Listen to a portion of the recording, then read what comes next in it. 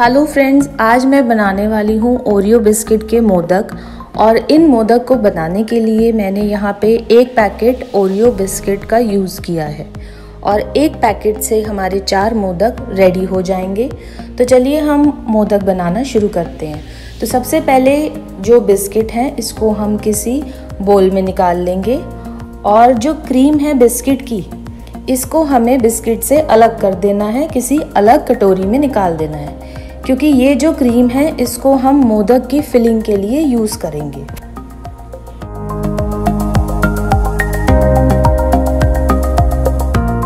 अब जितनी भी क्रीम है, हमने बिस्किट से सब निकाल कर वो एक अलग कटोरी में रख ली है। अब इसमें हम डालेंगे दो चम्मच नारियल का बुरादा, जिसको हम डेसिकेटेड कोकोनट भी बोलते हैं।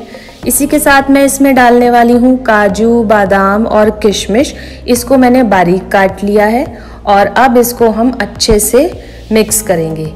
ये जो हमारा मिक्सचर रेडी हुआ है क्रीम का, ये हमारे मोदक की फिलिंग है। और जो ओरियो बिस्किट जो हमारे बचे हैं बिना क्रीम के, इसको मिक्सी में आप अच्छे से पीस लें। बहुत बारीक पाउडर बना लें आप। और अब जो ये हमने ओरियो बिस्किट का पाउडर रेडी किया है, इसमें हम दूध डालेंगे। दूध डालकर इसको हम गूंदेंगे।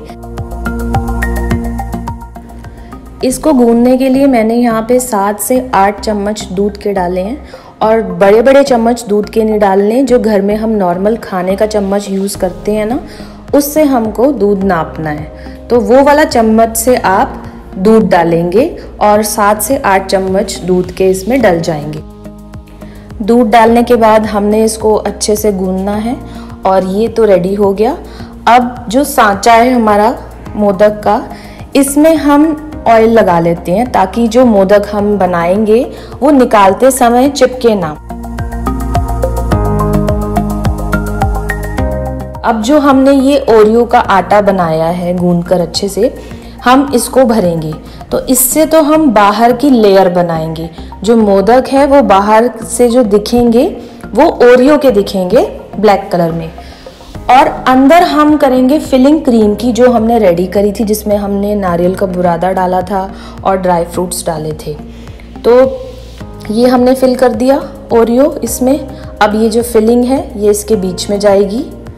और फिलिंग भरने के बाद हम फिर से जो हमने ये ओरियो का डो बनाया था, ऊपर से इसको हम कवर कर देंगे।